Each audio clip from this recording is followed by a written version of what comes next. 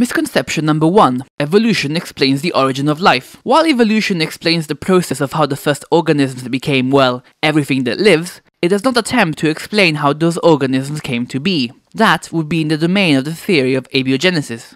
Part of this theory is the primordial soup theory. The atmosphere was subject to various forms of energy and produced simple organic compounds. These compounds are accumulated in a soup, a common location with a stronger concentration of them, and with further transformations, these simple compounds became more complex ones, such as amino acids, which provided the building blocks of life. And of course, the origin of the universe is explained by the Big Bang Theory. Misconception number two evolution favors complexity and humans are the pinnacle of evolution. While natural selection does result in the evolution of improved survival and reproductive abilities, it is not a progression from inferior to superior organisms, and it also does not necessarily result in an increase in complexity. Evolution just makes organisms which are good enough to survive, and sometimes change is not necessary for survival. For example, sharks, fungi, and mosses have changed very little in a very long time. Also, some processes, such as mutations, migration, and genetic drift, can cause populations to evolve harmful traits. Climate change, new competitors arrive, the geography changes. Traits that were once advantageous might not be beneficial anymore. Plus, progress is a very subjective word. What is progress to different organisms? Is progress for a plant becoming more efficient in photosynthesis or developing a thinking brain? There is also evidence that some organisms have quote unquote regressed, from a human point of view at least. Sea urchins and starfish, which have no brain, descend from creatures which once did. Therefore, evolution creates a tree, of which some branches are better at some things than others, and not a ladder of ever increasing progress with us at the top. Misconception number three.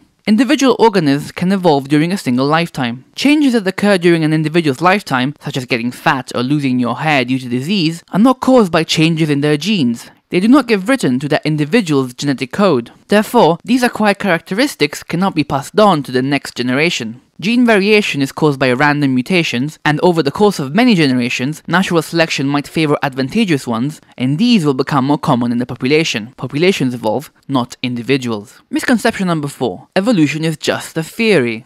While colloquially theory is used as a term for an unsubstantiated guess or hunch, such as a conspiracy theory, theory has a very specific meaning in science. It is not just a guess. A scientific theory is a set of principles that explains observable phenomena in natural terms.